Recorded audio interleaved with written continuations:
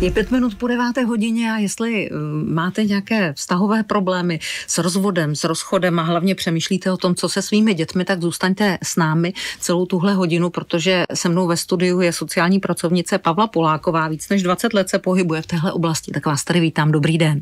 Dobrý den. My tady sedíme nad knížkou Hlavu vzhůru po rozvodu, která vlastně vyšla ve vašem autorském kolektivu už před Vánoci. Co pak to jde mít hlavu vzhůru po rozvodu nebo po nějakém rozchodu, ještě když jsou v tom děti? Uh, jde, jde. Uh, je jedno z těch mod, které je v té knize, zvládli to jiní, i vy to dáte. Samozřejmě není to jednoduchá cesta, ale právě proto, že jsou v tom ty děti, tak je potřeba v nějakém procesu zvednout zase tu hlavu a mít ji vzhůru. Hmm. A nějaká rada univerzální na to, jak zůstat dobrými rodiči, i když chceme, aby naše partnerství nebo manželství skončilo, asi neexistuje. Určitě eh, jedna není eh, rada. Eh, my se snažíme ty lidi jim neradit, nedávat dobré rady, ale podpořit je v hledání té jejich cesty a spíš není jednoduchá, jednoduchá odpověď. Já znám spoustu rozcházejících se párů, kterých se to ve větší či menší míře dotklo. A do jaké míry, dá se říct, kolik procent z těch rozcházejících párů má na prvním místě své děti a kolik procent to jenom tvrdí? Z vaší 20-leté praxe? Úplně 20 let se nepohybuju v té sociálně právní ochraně nebo tady práce s rodinami v obtížných životních situacích, ale nicméně už nějaká 15 letá možná praxe tam je. Uh, kolik procent. Samozřejmě je to obtížná životní situace. Ti lidé jsou zranění, nacházejí se v situaci, kdy si potřebují léčit své rány. Nicméně uh, věřím pevně a proto i tu práci dělám, že většina rodičů miluje své děti a chce nějakým způsobem pro ně to nejlepší. To, že toho aktuálně nejsou schopni, je druhá věc. Uh, nicméně důležité je, a k tomu slouží, nebo je, je směřuje i ta moje práce, nebo práce Milény, Markety Novákové, které jsme autorkami této knihy, vlastně těm rodičům poskytnout podporu, dát jim informace uh, relevantní včas a to je taky hrozně důležité ta situace je potřeba řešit co nejdříve. Ještě než si ti lidé stihnou dělat spoustu špatných věcí a to je tedy možná už a ta kniha k ním směřuje ještě, než se vlastně, už mám to rozhodnutí, chci se rozjít, ale ještě jsem nečinila ty konkrétní kroky. Hmm. E, v té knize je židličková metoda a dívenka Karolinka. A já si tu židličkovou metodu od vás nechám za malou chvíli vysvětlit.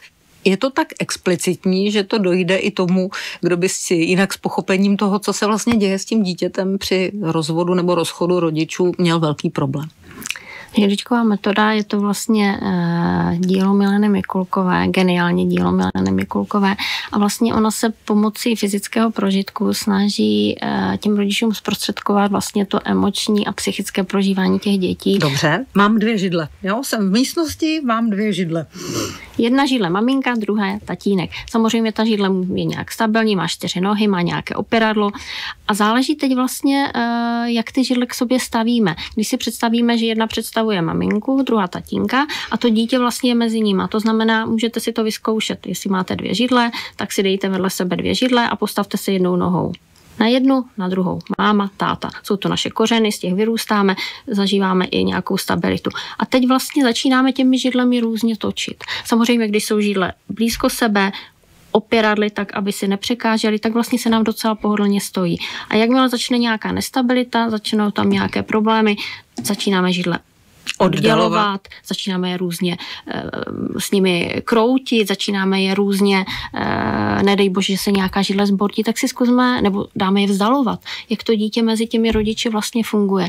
Takže to je to, co to dítě musí prožít. Pokud rodiče spolu dál fungují jako nějaký rodičovský tým, jako dobří sousedé, tak vlastně to dítě dokáže, ať už rodiče nejsou společně, ale jsou pořád někde pro něho. Hmm. Když to, když začnou se vzdalovat, tak najednou co to dítě musí zažívat. Když vlastně jsou ti rodiče nestabilní, uh, jsou od sebe, uh, různě um, spolu nevychází, tak to je to, co potom tomu dítěti uh, stěžuje ten život po rozpadu rodiny. Uh-huh. Uh, co udělala Karolínka na těch židlích? To byl úplně ten počátek, je to popsáno v té knize, eh, kdy vlastně Karolínka, když takhle seděla mezi rodiči, to ještě tehdy bylo vlastně, eh, kdy byly maminka, tatínek uprostřed židle Karolínka. A vlastně ta Karolínka během toho nějakého sezení, měla neustálou potřebu vlastně propojovat ty rodiče. Hlavička na tatínkovi, nožičky na mamince, pak se kroutila různě a vlastně ukazovala to propojení a to tam Milena popisuje v té své knize takový ten aha efekt, jak si vlastně uvědomila, co to dítě potřebuje. Být vlastně tou spojnicí mezi mámou a tátou. Hm. Když se takovéhle sezení odehrává, tak to se odehrává v rámci toho rozchodu? Je to vlastně běžná praxe s vašimi klienty? Co, co děláte? Jak jim vlastně pomáháte uvědomit si, co znamenají oni pro to dítě a co by se mohlo stát, když se ten rozchod nezvládne? Určitě eh, používá to, teda používají to, prostě je to teda hodně takové jako dílo Milé Mikulkové, která to standardně používá při práci s klienty. Mm-hmm. No. Nejhůře se vzdáváme toho, co jsme nikdy nedostali. To je citát z té knihy. Můžete ho vysvětlit? Není to můj citát, je to Mileny eh, Mikulkové a tak asi bych to, nechci se do toho pouštět, asi bych to dezinterpretovala. Jo, jako Dobře, tak eh, nemusíme se do toho pouštět, ale pojďme se pustit vlastně do toho, že eh, že ztráta bolí a že vlastně v nějakou chvíli je to normální, že přijdou emoce, s kterými je potřeba nějakým způsobem zacházet, že přijde strach, hněv, mm. smutek, odpor a dokonce tam v nějakou chvíli je popisováno znechucení až zhnusení. Dá se tohle v úvozovkách dobře prožít? Uh, prožít, nevím, jestli dobře dá, dá se to uh, zvládnout. Uh, je tam vlastně i ta kniha se někde popisuje takzvané fáze psychorozvodu, kdy to prostě přichází jako každá zatěžová situace, popření, nějaký šok, pak je to nějaká smutek, pak to může mít nějaká zoufalost, pak je to nějaká zloba, až k tomu vyrovnání se. Hmm. Jak to mají ti rodiče udělat, aby v nějaké z těch fází neuvízli? Eh, samozřejmě je spousta rodičů, kteří to zvládají, zvládnou to. Eh, důležitá je tam ta motivace a ta motivace musí být eh, to, že chci, aby moje dítě bylo v pohodě. A děti nejsou v pohodě, pokud rodiče nejsou v pohodě. A děti rozchod zvládnou, pokud ho zvládnou rodiče. No, já znám spoustu rodičů, kteří si vzali své děti jako rukojmí, hmm. ať už vědomně nebo nevědomně. Jakým způsobem se dá pracovat s nimi? Tam je hrozně důležité to, co, eh, aby se ty informace k těm rodičům a ta podpora dostala včas, než si stačí udělat spoustu špatných věcí. No to je zaměřena nejenom ta kniha, ale vůbec třeba ty aktivity, které se snažíme s Markétou Novákovou v rámci České republiky, nějak známe jako kochemská praxe, kdy je to nový způsob práce s rodiči v rozpadu soužití. To znamená dostat informace včas, podpořit ty rodiče, nabídnout jí podporu, ať už individuálně, třeba potom práce s psychologem, jak se vyrovnat s rozpadem soužití, nechat si pomoct, motivovat ty rodiče k tomu. Musím si nechat pomoct, abych to prostě zvládnul. A chci to zvládnout, protože mi na mých dětech záleží. Jinými slovy, mm, to je ta hláška v tom letadle. Nejdřív nasaďte masku sobě a potom svým tak, dětem. Tak. Co jo. když ta fáze mezi tím nasazením masky sobě a svým dětem prostě trvá roky? Tak, Protože já znám lidi, kterým to trvá roky. I kdyby trvalo v letadle roky, tak to dítě je mrtvé.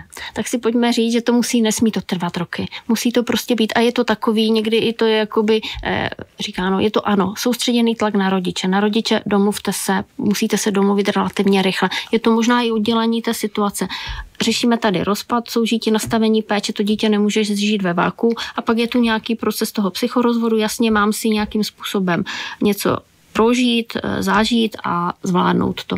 Jo, takže by to mělo běžet, úplně to neběží třeba v souladu, ale je to o tom, jak jste už tady říkala, oddělit to partnerství od rodičovství. Je to špatný partner, byl pro mě, proto se s ním rozcházím. Možná mi bude trvat nějakou dobu, než uh, uh, se s tím všechno zpracuju, ale nicméně je to dobrý táta mého dítěte nebo máma a já potřebuji nastavit svému dítěti nějaký, nějaké pravidla, nějaký způsob života, aby ono to zvládalo. Hmm. Dá se říct v průměru, jak dlouho to trvá? Rozpad, eh, jak vyrovnání se s rozchodem. Ano. Eh, v knize docenta Matouška je uvedeno až pět let. Eh, já jsem na, na svůj Facebook před tímhle rozhovorem dala jeden citát z té vaší společné knihy, která, který mluví o tom, co vlastně udělají děti, když vidí své rodiče, jak vlastně nezvládají ten rozvod, vidí maminku smutnou a tak dále a sami se stávají jakými si rodiči, partnery, pečovateli, aby dosáhli cíle i za cenu ztráty vlastního dětství a v dospělosti se to potom obrátí v to, že jsou z nich lidé, kteří dávají, aniž dostatečně přijímají, anebo naopak jenom berou a berou, protože v době, kdy měli dostávat, tak dávali. Spousta posluchačů mi tady na Facebooku píše, že se poznali, ale mm. už jsou dospělí. Dá se s tímhle v dospělosti nějakým způsobem pracovat? Tak eh, pokud mají děti, které pořád řeší a, a, a vidí, že jim to zasahuje do toho rodičovství, tak určitě minimálně za pokusu to stojí a je možno vyhledat odborníka, který vlastně jim pomůže uh, tyhle věci zvládnout. Jo. Já zase myslím, že první krok, a to je ten dobrý, že si ti lidé uvědomují tu situaci. To znamená to zvědomění, že něco dělám a asi to úplně není fér vůči mým dětem a proto vyhledat pomoc, hmm. snažit se. Mně se zdálo, nebo já jsem to pochopila tak, že tohle už jsou opravdu dospělí lidé, jejichž děti už jsou dávno z domu, že se to týká vlastně jich, že objevili to dítě v sobě, které celý život vlastně funguje podle tohohle hmm. schématu, protože se rodiče rozvedli hmm. a rádi by s tím něco dělal. Určitě, tak samozřejmě jsou různé, tak to už je potom na nějakou terapeutickou práci, kdy vlastně vyhledat, pokud teda jim to nějakým způsobem negativně ovlivňuje život, jo. Samozřejmě existuje to, že vím, že něco nefunguje, ono někdy i jenom to, že si uvědomím a vědomě začnu fungovat nějak jinak, tak může být taky cesta. Jo. Každý hledá svoji cestu. Někdo, některé terapie se e, orientují na tu budoucnost. Jo. To znamená, ano, co bylo, nějak mám, nějak mě to ovlivnilo, ale já jdu dál a hledám co bych mohl hmm. v svém životě. Nikdo z nás není profesionální rodič. Všichni jdeme cestou pokusu a omylu, snažíme se tomu dítěti co nejméně jak si ublížit nebo dát mu to, co, to nejlepší, čeho jsme schopni. Proč na rodičovství není žádný kurz? A kdyby byl?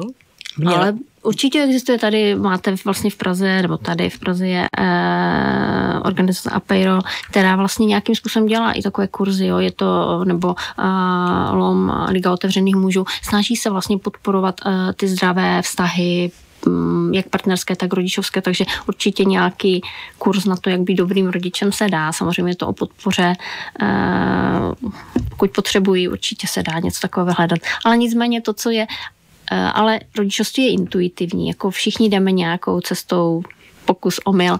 Eh, děláme to a já věřím, že většina rodičů a proto i můžu svoji práci dělat. Miluje své děti, snaží se pro ně udělat to nejlepší každý máme akorát jinak nastavené ty hranice, co, co umíme a neumíme. Ale vy jste vždycky na straně dětí. Určitě. Všichni, eh, já si myslím, že všichni pracovníci, i ta kniha je vlastně psaná s tím, že sice klienti a primárně cesta k dětem, to je to. My neopravujeme děti.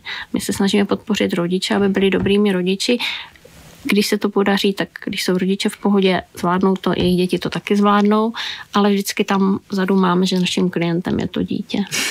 Eh, ten eh, proces toho eh, rozpadu partnerství nebo manželství je poměrně zdlouhavý. Mají to jednodušší nesezdané páry? Když si chtějí vlastně jak si žít každý svůj život, ale nechtějí, aby to odnesly děti. Teoreticky to jednodušší mají v tom, že vlastně každé soudní řízení v lidech evokuje takový boj. Jo, samozřejmě, a to je ta změna, která i ta opatrovnická justice prochází nějakou změnou, snaží se více e, klást odpovědnost na rodiče, splnomocňovat je, neříkat já rozhodnu. To rozhodnutí soudu je něco, co vlastně ten soud dělat nechce. První je všichni vedeme k nějaké podpoře. Vy jste rodiče, vy jste zodpovědní, e, vaše dítě bude mít tak šťastný život, jak jim ho uděláte vy, dospělí, my vám pomůžeme můžem, ale musíte si chtít nechat pomoct. Eh, povídáme si dneska o eh, rozvodech a rozchodech a o tom, jaký, jaký dopad to má na naše děti. A možná by bylo dobré asi zmínit, že děti vnímají víc, než my si myslíme, nebo vaše praxe o tom určitě svědčí a v té knižce je to taky. Určitě. Uh, někdy rodiče milně, jako děti nic neví, netuší takové sdělení, jako tatínek se odstěhuje, tatínek je v práci. Uh, samozřejmě ty děti vnímají tu nepohodu, vnímají, že se něco děje. Uh, a možná, když neví, tak o to hůř, protože ta jejich fantazie pracuje úplně jinak a najednou mají i tendenci. Možná potom ta skutečnost uh, je jiná, možná lepší, než si vlastně oni ve svých představách uh, nějakým způsobem vybájí. A dá se, pardon, že vstupuju do vaší řeči říct, v kolika letech ty děti mají opravdu hodně rozbujnělou fantazii, kdy si mohou mlčení mezi rodiči nebo nějakou nepohodu, kterou energeticky velmi dobře vnímají, vykládat špatně? Všechny děti vlastně potřebují informace, jakékoliv dítě, v jakémkoliv věku, protože samozřejmě uh, malé děti jsou sebestředné, mají pocit, že se všechno točí kolem nich, to znamená, mají i takovou tendenci se potom třeba, když už jsou starší, uh, vnímat věci, chápat, obvinovat, že oni můžou za rozpad soužití, možná kdyby oni nezlobili. To, co potřebují děti, potřebují informace, potřebují je včas, potřebují přiměřeně věku. Nejlépe, aby společně oba dva rodiče informovali dítě o tom, co se děje. Notabene je to jejich povinnost ze zákona, kde občanský zákonník hovoří o tom, že dítě má právo na to uh, mít informace o věcech, které se otýkají a v prvé řadě by to měly být rodiče, kteří nějakým způsobem ty informace hmm. dětem dávají. Jak se takové 6-7 leté dítě vlastně má od rodičů dozvědět? Jak to má vypadat ta modelová situace, kdy ti rodiče prostě, dejme tomu svým dvěma dětem 6 a 8, 6 a 10 hmm. řeknou, my už spolu žít nebudeme. Je to i v té knize. Samozřejmě je potřeba to připravit. Nejlépe, když ty vzdělání říkají rodiče společně. Eh, samozřejmě přiměřené informace, nezatahovat je k důvodům eh, rozpadu, ale nicméně eh, zase nezatahovat, nelhat. A i nevím je odpověď. To znamená, protože děti hlavně potřebují tu orientaci na tu budoucnost, co bude dál, jak to bude se školou, jak to bude s praktickými věcmi. Děti musí mít pocit, že se mohou svých rodičů na cokoliv zeptat. Že je nezrání, že to nebude něco, co bude zhoršovat tu situaci. Hmm. Děti ale kladou většinou ty úplně nejlepší otázky, ne? Určitě, děti jsou, děti jsou skvělé, ptají se úplně, jo, jsme praxe taky, jo, když si tady, tam samozřejmě je třeba nový partner, tak děti jako rodiče mají pocit a říkají, jo, a ty si taky najdeš nového, nového partnera, taky už nebudeš sama mamku, já bych byl třeba rád, jo, protože prostě vnímají, děti mají taky velký smysl pro spravedlnost, jo, mají pocit, že aby to bylo fair, tak taky chtějí, proto někdy je to i s tou péčí, jo, když oni chtějí, i když se bavíme o tom zapojení obou rodičů ekvivalentně do péče, oni i vnímají, že by měli nějaký čas trávit s maminkou, nějaký čas s tatínkem, že je fér, aby máma byla v pohodě, když je táta v pohodě, aby eh, a je to i 20 dětí k rozvedeným rodičům, eh, což je taky taková skvělá pomůcka, kdy... Je to v té knize, musím říct, že, že to docela útočí to na city, teda na moje ano a to se mě to vlastně netýká. Určitě. Je to, a to je emoce, která je i já, když jsem je četla, tak jsem měla slzy v očích a vidím i rodiče, když se tam o tom bavíme, ale jedna z těch přání je buďte k sobě fér, domluvte se férově na péči, na penězích, na všem. Eh, je tady právě jedna otázka, která se týká těch nových partnerů. Leona píše, hm, jak postupovat, pokud se děti po rozvodu manželů nechtějí výdat s novými partnery. Nutit je do toho hned, postupně seznamovat nebo respektovat přání dětí a trávit čas bez nových partnerů. Určitě děti potřebují čas, potřebují prostor se s novou situací vyrovnat, potřebují se smířit s tím, že máma s tátou spolu nejsou. A samozřejmě ta role těch nových partnerů uh, může být složitá, ty důvody jsou taky popsané v knižce, co se může všechno dít. Uh, nicméně mm, mělo by být zájmem obou rodičů, aby osoby, které jsou pro dítě důležité a nový partner rodiče bude v nějaké době důležitou osobou, aby spolu vycházeli. A je aby důležité, aby rodiče měli trpělivost, snažili se hledat ty důvody, proč a hlavně se snažili potom uh, společnými silami uh, zajistit to, aby to nikdy v budoucnu fungovalo. Ale ano, může to být třeba předčasné. Velmi těžko se odpovídá a už je to potom vždycky konkrétní situace, uh, konkrétní situace těch dětí a té rodiny. Mm-hmm. Kateřina píše, jak je to s již dospělými dětmi při rozpadu manželství, když jsou ovlivňovány jedním z rodičů proti druhému, jak se k tomu postavit? Mm, dospělé děti. A to je to uh, taky. My, naše rodičovství nekončí vlastně 18. rokem věku dítěte a pořád budeme rodiči. A je taky důležité pro ty dospělé, je to asi přirozené, že když jeden je opouštěný a druhý opouští, takže ty děti v určitém věku mají takovou tu tendenci hodnotit. Ale je důležité tím, být tím opouštěným rodičem, nepřilévat olej do ohně, eh, s těmi dětmi taky otevřeně hovořit o to, co se stalo, prostě byli jsme na to dva, nějakým způsobem se nám to nepodařilo, protože, a to jsem si uvědomila, když můj syn starší se chystal eh, na maturitu a teď jsme řešili maturitní večírek a říkal mi, že vlastně polovina dětí z jeho třídy řeší, jestli pozve na maturitní večírek mámu nebo tátu. A tu chvíli si uvědomíte, že vlastně to nekončí 18. rokem a teď vlastně ovlivňujete životy do budoucna. Co bude? Opravdu chceme, aby naše děti už měly rozpolcené ty životy, aby maturita, svatba, eh, narození dítěte, jejich narozenin, vnuku pořád takhle fungovala. Tak, eh, a nejlépe to vyřešila jedna, jedno děvčátko, které řeklo, buď půjdete oba nebo ani jeden. Hezky. Já mám z některých těch dotazů pocit, že vás potřebují ti lidé spíš jako potvrzení toho, že mají pravdu. Stává se nám to často ve vaší praxi? Určitě.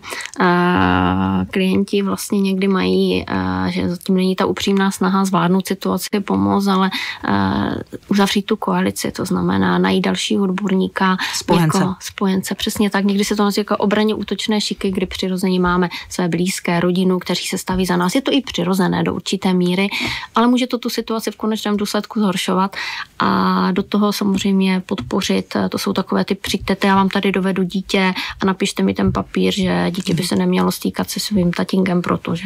Hmm. Jak dlouho je dobré držet se těch eh, obraně útočných šiků a kdy je dobré je rozpustit? Nebo kdy už je to patologické, kdy už to trvá zbytečně dlouho a pak už vlastně z toho není cesta ven? Uh, obraně útočné šiky jako um, něco jiného je podpora, něco útočný obrany šik. Jasně, mají naši blízcí, mají nás podpořit, mají nás emočně podpořit, že ta situace je složitá, ale nestavět se do těch obraně útočných šiků. Proto i ta kniha vlastně je určená tam, jak je věnována nejenom rodičům, ale všem osobám, kterých se to vlastně může dotknout. Ať už v roli prarodičů, roli kamarádů, roli i odborníků a vlastně nestavit se do tady téhle řady. Mm-hmm. Uh, další otázka od Míši. Existuje nějaká studie, jak rozvod rodičů snášejí děti podle pohlaví? Zda třeba děvčata rozchod nesou hůř a podobně? Myslím si, že nevím, já nejsem na to odborník, nevím, jestli nějaká studie, ale určitě eh, je to různé, jako jednak děti individuálně, ale to, co je, děti rozpad soužití svých rodičů zvládnou, když ho zvládnou rodiče. Pokud Oni to ustojí, oni jsou v pohodě, tak jejich děti budou v pohodě. Samozřejmě každé věkové období přináší určité věci. Jo. Eh, teď, eh, když to dobře zvládnou rodiče, ukazuje se, že jako rozvod rodičů můžou zvládnout třeba menší děti, které vlastně eh, nějakým způsobem, ale zase někdo to popírá. Je to prostě individuální, ale základní, čím bych se opravdu řídila, zvládnu to tak dobře, jak to zvládnete vy dospělí. Uh-huh. E, další otázka. Řešíme situaci, jako rodiče máme krizi ve vztahu téměř před, ro- před rozchodem, ale kvůli dětem 3 a 5 let bychom vztah rádi zachránili. Kam se obrátit o pomoc? Super. To, to je docela dobrá zpráva. Určitě, určitě. A je to to, že uh, to, co lidé by měli, ano, vyčerpat všechny možnosti.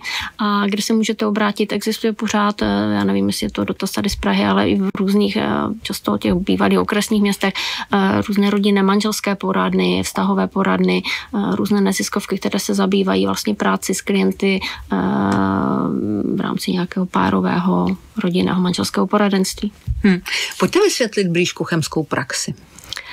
Kochenská praxe, tak jako velkou mm, propagátorkou vlastně je Markéta Nováková ze spolku Kochem.cz, která se snaží vlastně propagovat jiný přístup práce odborníků a opatrovnické justice vlastně z rodiči v rozpadu soužití. Je to víc založeno na tom, ne, my rozhodujeme za vás, ale vy jste rodiče, vy jste zodpovědní, vy byste měli rozhodnout.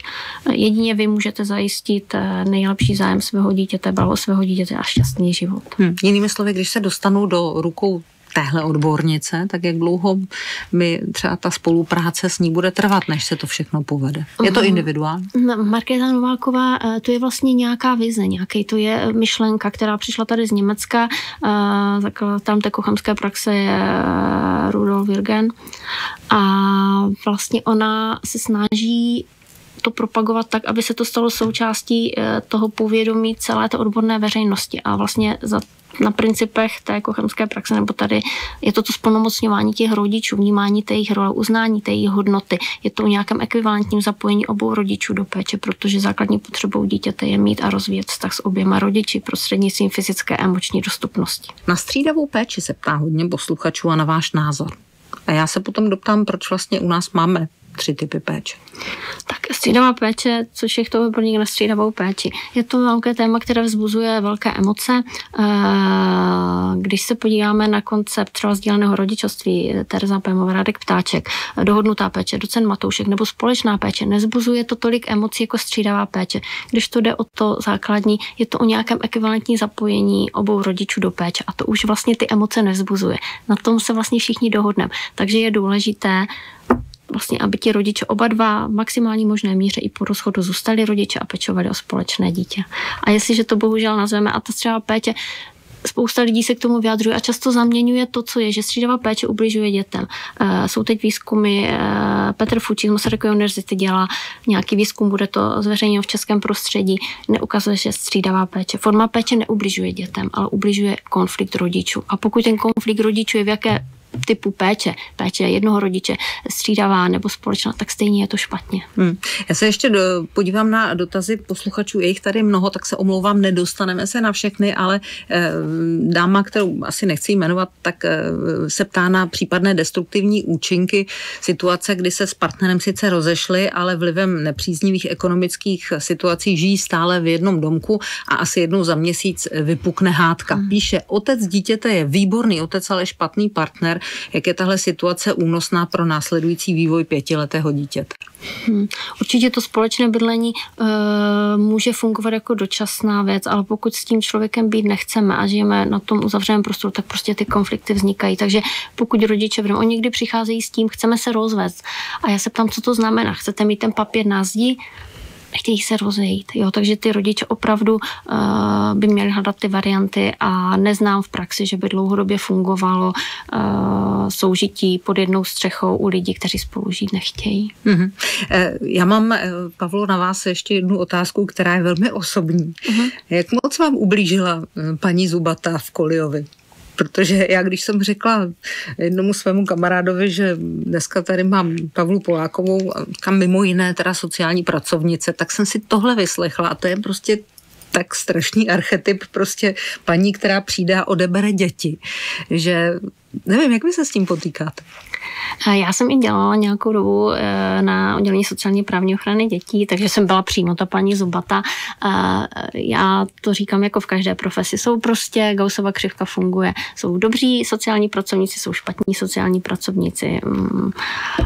Jo, jako ty stereotypy prostě jsou. Tady jsme se bavili o stereotypu střídavé péče, bavíme se o tom, ale osobně, jako lidé přicházejí, jasně, eh, přicházejí v těch obavách, vidíte to, že si říkají, co se bude dít, ale pak záleží na tom, jak to osobně každý ten profesionál zvládne a jakým způsobem se k tomu postaví. Hmm. Jako... A když vidíte nezvládnuté rodičovství, eh, třeba i velmi těžce, co to s vámi dělá?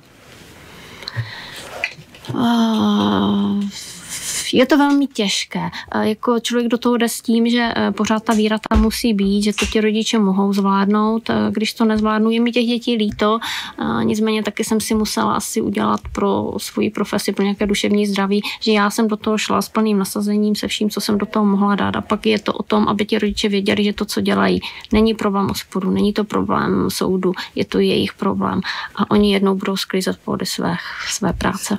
Pavla Poláková byla dnes hostem Radiu žurnálu. Tak děkuji za vaše slova a ať se vám a všem dětem, kterých se tohle téma týká, ať se vám daří. Děkuji moc.